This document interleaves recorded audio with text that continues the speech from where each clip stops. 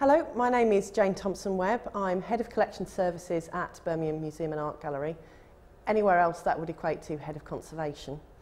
I began my career through being an archaeological conservator and I did a lot of self-employed object conservation. I've gradually moved into collection care and in the last few years I've done a lot of training for anyone who works in museums around the West Midlands. I'm also chair of Care of Collections Group for ICON, the Institute of Conservation, so I try and be very involved in the profession and keep up to date with what's going on. In this clip we're going to be talking about some of the basics of object cleaning. There are two main reasons for undertaking object cleaning. One is a sort of day-to-day -day cleaning method which helps to remove surface soiling.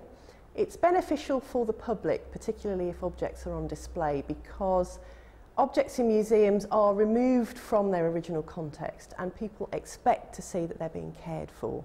So by cleaning them, we fulfil public expectation and also we ensure that the collections that we care for look at their best when people come to see them.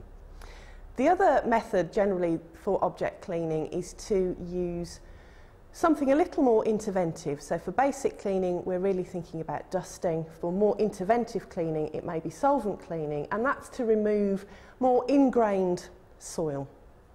And that's usually undertaken when things are required for exhibition. They may have been in store for some time. So let's think about basic cleaning first. If you can imagine your gallery and objects are on display, it's a good idea to try and do a basic dust, maybe once a week, once a fortnight, depending on staff time.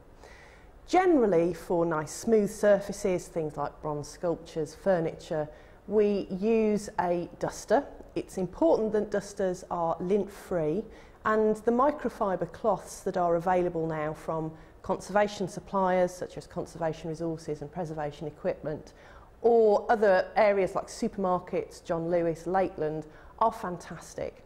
Microfiber cloths have a slight static charge so the dust sticks to them and the fibres generally are extruded through a triangular spinneret which means there's always a sharp edge so it undercuts the dust.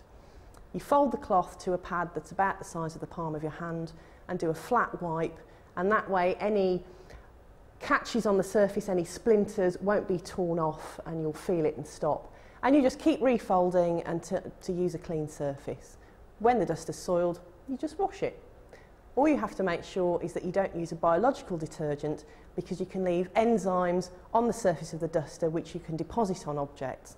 If it's an organic material, such as textiles or a wooden sculpture, those enzymes can then start to attack the surface of the object. For rougher surfaces, so if you have stone or picture frames, it's better to use a brush rather than a duster. Two types of brushes are useful. One is a hog's hair brush. They have quite stiff bristles and they'll get into a surface and that's particularly useful on stone where effectively you have quite a stippled surface. The brush gets in and lifts the dust out. The other type of brush that's useful is a pony hair brush and that's very soft.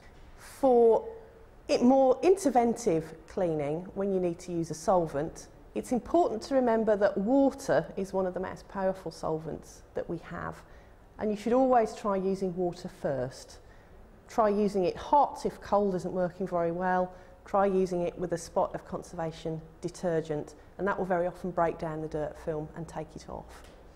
There's been a lot of research into dust recently, and that's shown that in the right relative humidity conditions, after about 24 hours, dust will chemically bond to a surface.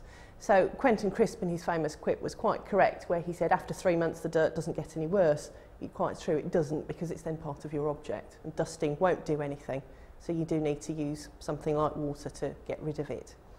For other materials, you're looking at solvents such as acetone, industrial, industrial methylated spirits, maybe white spirit, it's really important to test those. Those are generally implied with a cotton swab. If your museum has a lot of money, you can go out and buy ready-made cotton buds. Most of the rest of us, we make our own. It's really important not to reuse a swab. You dip it in the solvent, you use it, and you get rid of it. And a jam jar with a hole bodged through the top with a nail or a scalpel makes a really helpful swab remover. You put your stick in, pull it out at an angle, the swab is pulled off and it's held in a jar so the solvent can evaporate quite slowly.